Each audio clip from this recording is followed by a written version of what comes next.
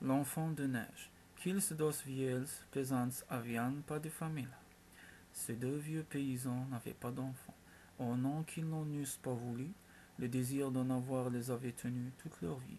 Ils avaient vu le médecin, le mage et le corsier, prier la Sainte Vierge et soixante-dix-sept saints du Limousin, couru les sept cent soixante-dix-sept bonnes fontaines que compte ce pays. Bref, ils avaient plus que faire ce peu. Tout ça en vain. L'âge était venu, ils se sentaient bien seuls. Or une fois, on était dans le temps de Noël, que le vieux était sorti pour fumer une pipe chez les voisins. La neige se mit à tomber, et tomber dru, recouvrir chemin et charrière, toiture et jardin. Lorsque le vieux rentra chez lui, il vit le gamin du village qui faisait des bonhommes de neige. Ce fut comme un éclair en lui. Femme, femme, cria-t-il en grande excitation, viens avec moi dehors.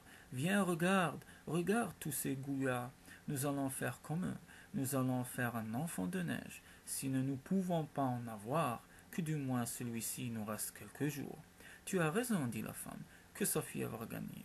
Et les voilà qui font rouler la neige. Les enfants ne jouaient plus. Ils regardaient les deux vieux, les voisins aussi sortir pour voir ça.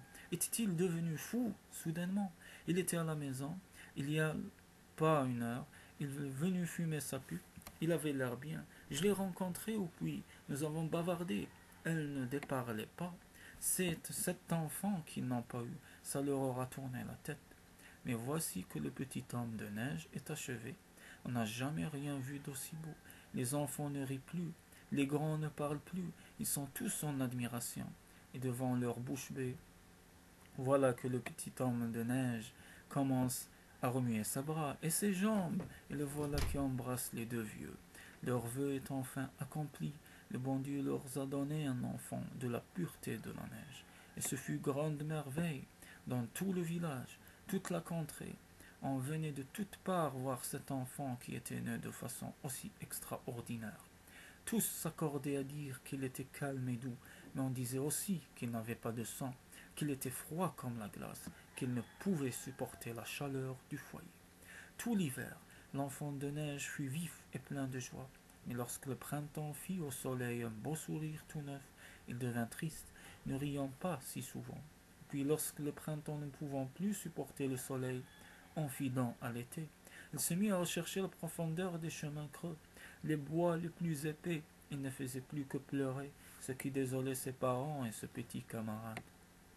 Lorsque la Saint-Jean arriva, les enfants s'assemblèrent, il en fit un grand bûcher auquel on mit le feu, et de chanter et de danser autour. L'enfant de neige n'était pas là. On alla le chercher, on le fit entrer dans la ronde. Il dansa bien joyeusement. Mais lorsque le feu fut assez bas pour qu'on se mit à le sauter, on vit le petit bonhomme de neige s'en aller tout d'un coup, ne laissant qu'un peu d'eau dans les mains de ses camarades.